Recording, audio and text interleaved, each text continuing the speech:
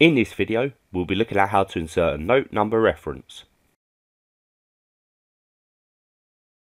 You can insert a note number reference into any user text area within the accounts. To insert the note number reference, access the Enable Editing function via the View tab on the Caseware toolbar. Enable Editing is password protected, therefore you may need to contact a super user at your firm to access this area. Once within Enable Editing, select where you want to insert the note reference. Then select the Insert button from the toolbar.